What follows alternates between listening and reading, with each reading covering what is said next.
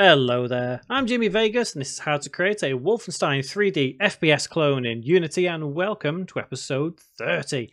In this tutorial we're going to create our second floor and we're going to link everything together as well as linking in that splash screen that we created a couple of tutorials ago. Don't forget to click on the subscribe button and click that bell icon as well to stay up to date with every tutorial still to come in this series and indeed everything else on game development on my channel. If you've enjoyed this series so far please feel free to check out my Patreon or YouTube memberships where you learn things like early access, exclusive content, project files, and so much more. With that in mind, let's get to work. So, basically, because we've completed what we have now for floor one or level one, whatever you want to call it, we could actually theoretically use this as a base and make a completely different level with the same mechanics and save ourselves a ton of time rather than building a level from scratch. So what I'm going to do is I'm going to go to my scenes here and I'm going to take level 001 which is this one and hold control press D. We've now created a duplicate. So let's head into there and make sure we do go into the correct scene. So you'll see at the top here we're still in level 001 so make sure we go into level 002. You'll notice it is the exact same level. So a couple of things that we're going to have to do first and foremost is just make a couple of little alterations to the game. So firstly, let's add our gun straight in because we already picked it up on floor one. So we know we're going to be, uh, we're, we're going to have it here. So we don't need to worry about it too much at all for now. Next thing we need to do is change in our canvas the actual UI panel down the bottom and we have floor panel and in here we have floor label or floor level I should say and that should be two. So when we press play now we should see we have our gun ready and we're on floor two so to give you a quick rundown of how this can be done, and one thing I am going to do is quickly turn off my post processing, and that can be done. I should have mentioned it last tutorial, but kind of ran out of time. But uh, this one, yeah, the menu here, clicked post processings, and it will turn it off. And you can see everything back in the original view. However, that doesn't mean that when you press play, the post processing is off. It still means it's on. So what I'm going to quickly do uh, while I explain what we're going to do with the rest of this uh, tutorial is I'm going to open all this up and basically build another section here. I'm going to keep most of the floor the same, but obviously you shouldn't. You should probably take a lot more time and build different sections of your levels, simply because you don't want them repeating. I'm just doing it this way to kind of give uh, the impression of it's a different um, floor or level. Again, whatever you want to call it.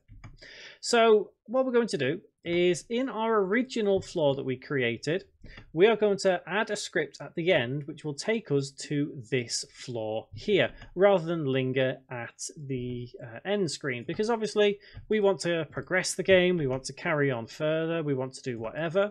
So at this point what I would recommend is you take the time and build yourself uh, whatever floor you need and if you feel it necessary to build floors 3 four, five, six, whatever, you should probably do that as well. Take the time to do so.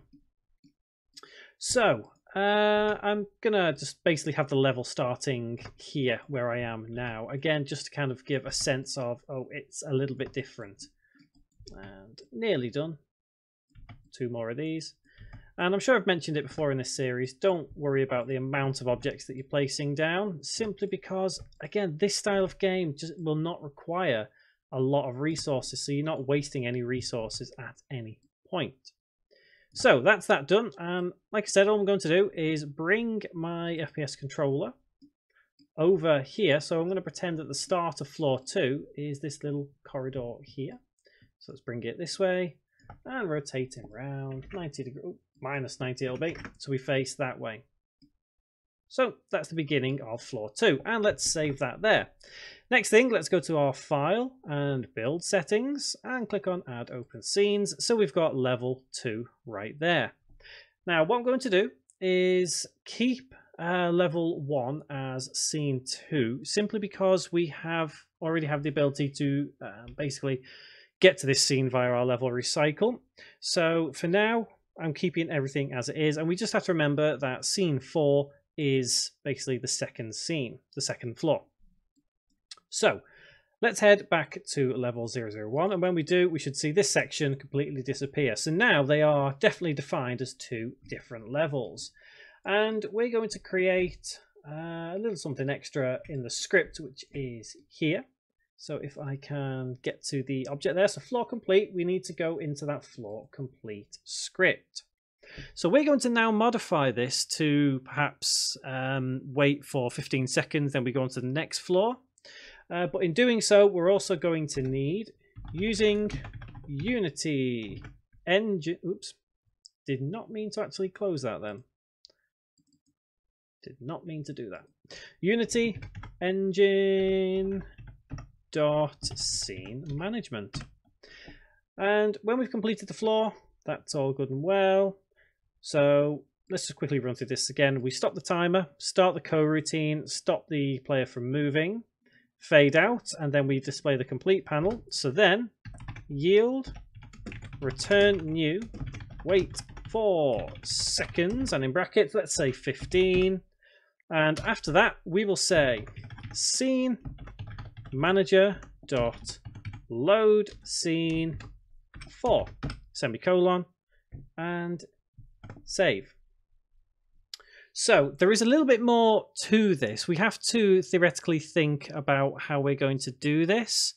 And essentially, you can kind of repeat this process over and over and over for every subsequent level. Um, you can actually have a file containing various different uh, aspects, but there are a couple of things as well that we're going to need to do. When we get to a new floor, we are going to need to um, let me think. Are we going to need to reset anything? Because we want to carry our ammo over, don't we? Um, we want to carry our lives over and we want to carry... Um, yeah, okay. So we'll reset the score. Um, at least for now, just to give us another sense of uh, something is occurring. And it is global score dot score value equals zero semicolon. And we're also going to need to reset uh, the treasures and the enemies. So global, um, gosh, which one is it? You know, I can't remember. Is it global complete that has it in? It is. So we need to reset the enemy count and treasure count. So global complete dot enemy count equals zero, just so we have the score set for the next level. And same with global complete dot treasure count equals zero, semicolon, and save. So as it stands now, when we get to the end, after 15 seconds, we can see our score, see whatever we need to. We'll go to our next level. So let's quickly try that out. You'll see what I mean now with the post-processing still active it's still there for us. So I'm going to kind of run through this. I'm not going to try and shoot the enemies. Try and make this as painless as possible. There's our key. Let's go to the end of our level. And there we go. Excellent. So you could uh, if you wanted to, have a button here to do the exact same sort of thing. Uh, we went through buttons in main menu, so you could quite easily just put a button here to take you to the next level if you wanted to. And there we go. We are now floor two. Excellent. So yeah, it is all the same here, but we're definitely in that separate scene now because we've started here. So, how is the game going to flow? So that is the big question that we have to think about now. We've set this floor complete script to basically say always reload scene 4. And the best way we can uh, do this now is scene 4 is going to be level um, 2. And what we could do every subsequent level is to add in uh, an extra scene. Now, what you need to do at this point is try to understand how many scenes you're going to want to need in your game. And it's important at this point. So let's go to File, let's go to Build Settings, and we have these scenes. We have the sample scene, which is our a simple, you know, screen that pops up at the beginning, our uh, I forgot what it's called, splash screen. then we have the level recycle. Then we have level two, uh, level sorry, level one, uh, level two, and main menu. So what I would like to actually add at some point is a credit scene. So I'm going to make a dummy scene for now for the credits. So file and new scene and file, save as, and let's call this credits in the scenes folder. Save. We'll come back to this in another tutorial because the credits aren't exactly important right now. Uh, but what we do need to do is add it to the build settings. And I actually want to set this as scene 4. And I want scene 5 onwards to be every subsequent floor. So 5 will be 2, scene 6 will be 3, scene 7 will be 4, and so on. So 5 is a key number that we need at this point. And we need to basically make the game think rather than have a script for every single level we need to basically say go to the next level no problem so let's head to floor 01 again come on unity come on. There we go. So to do this we need to create another script and this script is real simple. Uh, let's go to stats again and we will go to, in fact, I think about it, do we really... I'm thinking we'd actually do it in global complete rather than a separate script. And I'm actually going to have this as public static int and we'll call it next floor semicolon and next floor is going to be the level we go to so by default we're going to make it 5 so Save that script. Let's head to that floor complete. And what we'll do is instead of having load scene there, we'll have global complete dot next floor. And you know now I think about it, I'm thinking let's actually set this as 4. So it's looking at scene 4 for now. However, we will actually have global complete dot next floor just before we go to that scene, plus equals 1, semicolon, and save. So why have we done this? Well, if we're playing through this now, we have to remember that getting all the way up to here, this is still set as scene number 4, which is currently the credits. It gets to here and then makes it scene 5, so it loads scene 5. So we're now playing through scene 5. We've got to the end, and we're yep, still in scene 5, but then this is saying Next floor is scene 6, so then we load scene 6. So you can see it's a sequence of events once again which helps it realise what the next level is. And that is the easiest way of creating a scene, uh, or rather a script that uh, um, enables the game to know which scene to go to next. It's real simple. So, where do we go from here? Well, we could actually put this in scene 2 and it will go to 6. So you'll be able to create all your subsequent levels quickly and easily from there. So let's link that splash screen to um, the main menu. So to do that, let's go to our splash screen, which is right there, sample scene.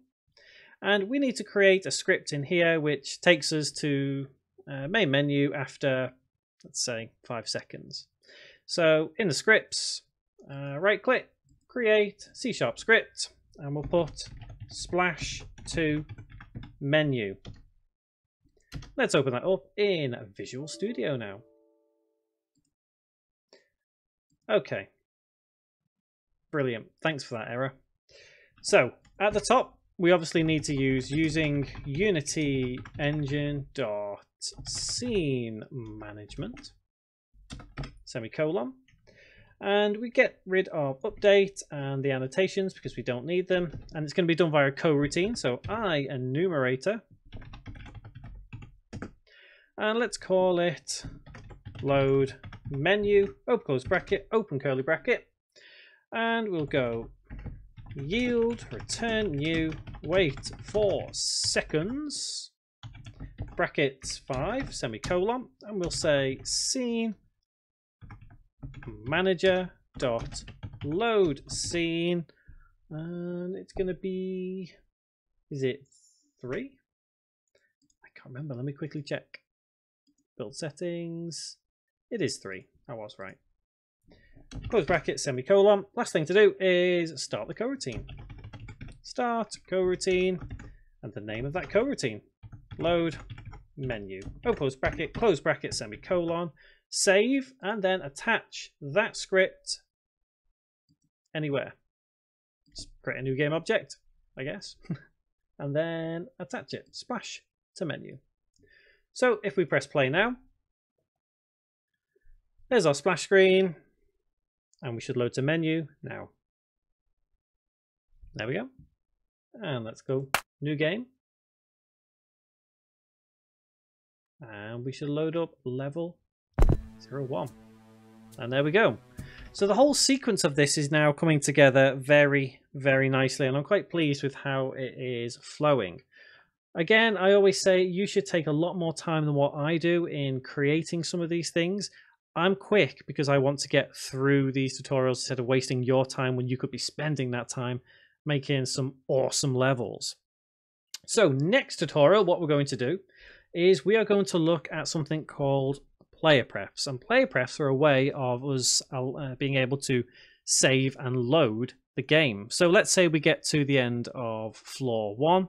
We want to save it. So when we click on, so, you know, we close the game down and then we come back to it. And then when we click load game, we want to go to scene, uh, rather floor two. So player prefs allow us to save and load game. So we're going to look at saving uh, more than anything next tutorial. Until then, guys, thank you very much for watching.